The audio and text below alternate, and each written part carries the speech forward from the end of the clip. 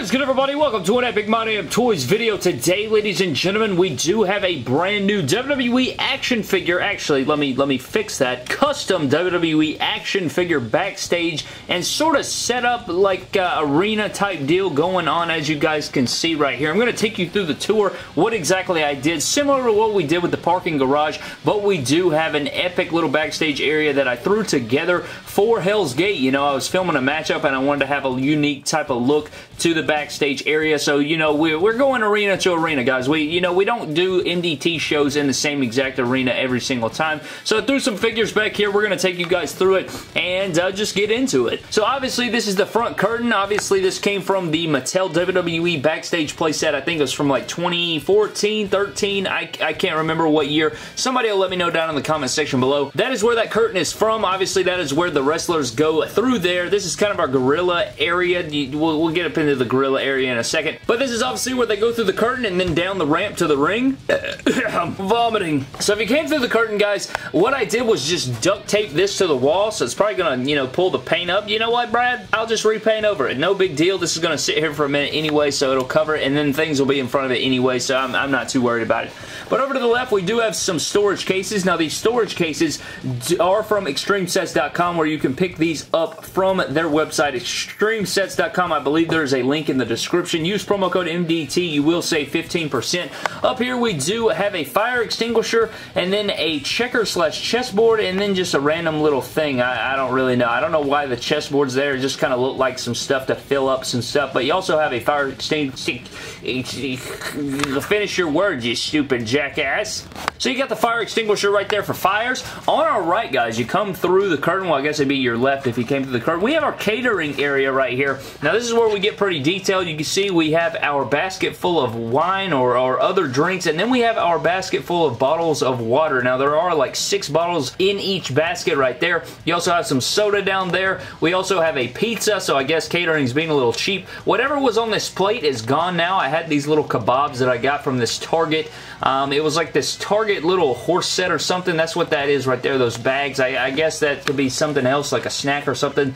But uh, it, it, says like horse food on it, so I guess we're serving horse food here in catering. But uh, all these little bottles and accessories, you got the wine bottles from Hobby Lobby. The little baskets that are holding the drinks are from the same set that I got the plate and the, uh, the little bags of food here. The sodas came with that exact set, and then the bottles of water came with random WWE action figures, Triple H Elite, stuff like that. And then we have the WWE Jakks pizza box with the pizza that was sent to me from a fan, and I don't remember who it was, but thank you for that. If we continue on, you got your little tray full of silverware, and then we have the little cooler. We also have a trash can here at the end because obviously you got to throw your trash away. You got to put Corbin in the end there. Once we, you are, you know, you get done with your food, you bring it to the trash.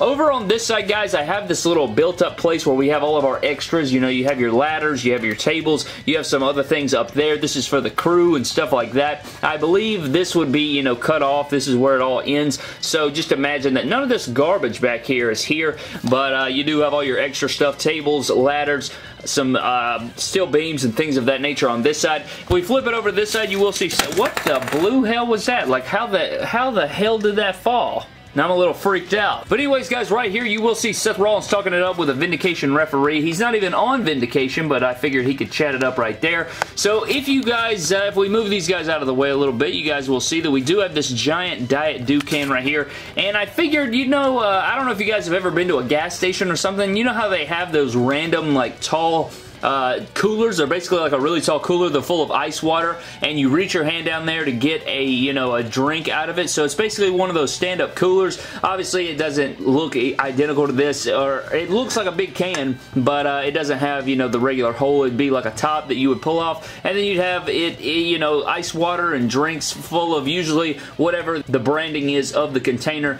It's usually what is down inside. So we have like a little Diet Dew container right there, and I figured that could go hand in hand with catering right right there, and it kind of fills up the space anyways, so that is what we got right there. We got Rollins and the referee chatting it up, and then you got your little Diet Dew can right there. Let's get sponsored by Diet Dew over here. Get Diet Dew, drink, drink Diet Dew. Eat your calories, don't drink them. Right here, guys, we have this little stand thing, and I just figured it would fit right here. I really don't know what the hell you could use this for. I mean, I, I really don't know, but I had it laying around. I figured I could stick it right here. It's a good filler piece. You know, it separates everything, kind of creates some good contrast here in the middle of the backstage area, and I appreciate it. Over here, we do have Triple H talking to the WWE Champion Brock Lesnar, and if you get in this corner right here, look how sick this looks. We do have some cool accessories over here in the background. We got a little stereo, some crutches, just some random little things, a little squirt bottle. This thing came from ExtremeSets.com, and then this also came from ExtremeSets.com, where you can create your own backstages and stuff like that. Use promo code MDT to save yourselves 15% over there,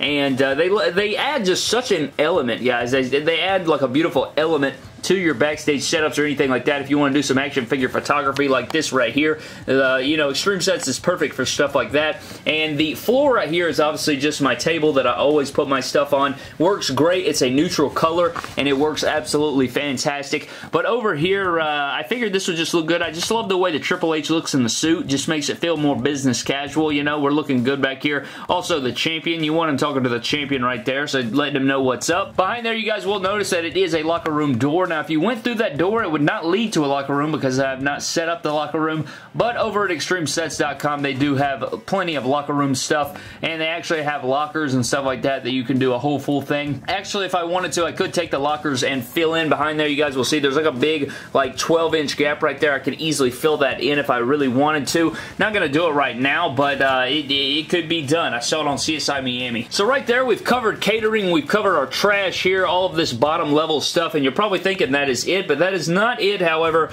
because we have this big area back here. Now, this is what I will say. I tried to put some steel steps and like level them under so you could walk up to the gorilla position, but what I'm envisioning, envisioning is on the other side of that referee up there is where the superstars or the, you know, the people in uh, the, the head of the management or whatever in gorilla position, they would walk up those stairs to get up here, and obviously we have our, oh snap. There's supposed to be a guardrail right here as well, actually, actually. Don't know where the hell that went. But there's supposed to be another guardrail here so that obviously the person wouldn't fall the hell off the platform and plummet to their death down here. So there is supposed to be a guardrail here, over there, and here to keep it all contained. But I'm going to get up in here so you guys can see exactly what we got going on because I love the details of it. So if you guys get back here and you take a look, it's really badassery. We have a monitor screen here, another monitor screen here. We got a little coffee right there if it'll focus.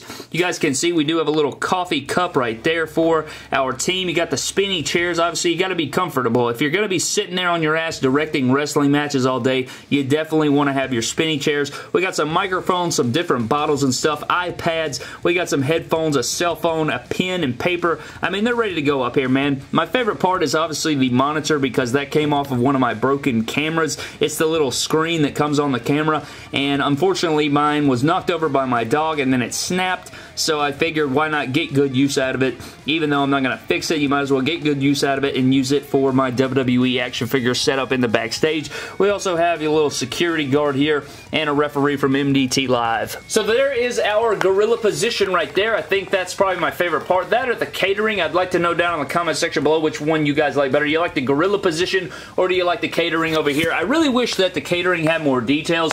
Unfortunately, I don't really have any more food. I need to go buy some from Hobby Lobby. They sell like little miniature, you know, accessories and stuff of that nature because the Jakks, you know, accessories like that pizza right there are so sloppy. Like that was just the era that it was and uh, all the accessories were super crazy. Another thing that I hate is uh, I hate that you can see these Elite boxes if you guys were wondering. All this is right here, the little platforms are made of uh, stacked up Elite boxes and uh, you know the WWE Elite action figure boxes and I just taped them together with electric tape or black duct tape and that's what this is made up as well. Used it on either side of my MDT Royal Rumble stage if you guys remember that and that's what that platform is there where the catering is so it just all works out. But another thing I'd probably also like to do is hang like some posters or something on the wall right here like a bulletin board or, or just some posters or just anything really would make that stand out a lot better. The black does work though. It definitely works better than what we got going over here with the barcodes and the freaking names written on the side right there. As you guys can see, Aiden English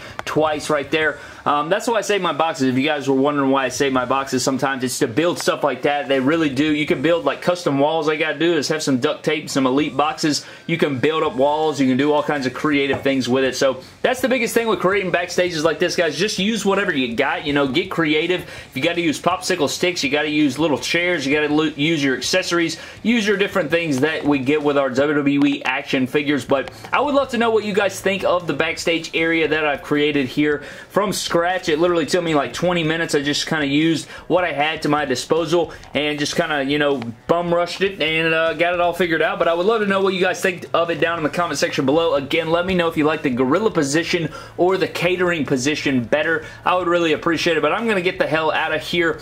Filming is actually done for Hell's Gate, guys. Now we're moving on to the editing process. And the editing process is going to take a long ass time, at least for like days wise. Like I'm going to be sitting in front of the computer for a very long time, but it'll probably add up to two or three days straight of just sitting there editing. So it'll probably be like 60 plus hours of editing, but uh, it's coming, Brad. It is freaking coming. And then we got to commentate and then we got to put it up. But that is going to do it for today's video, guys. Thank you so very much for watching. I hope you guys did enjoy. Subscribe to the channel for more epic WWE action figure videos. Follow me on Instagram and Twitter at MyDamnToys, and I will see you guys in the next video. Thank you.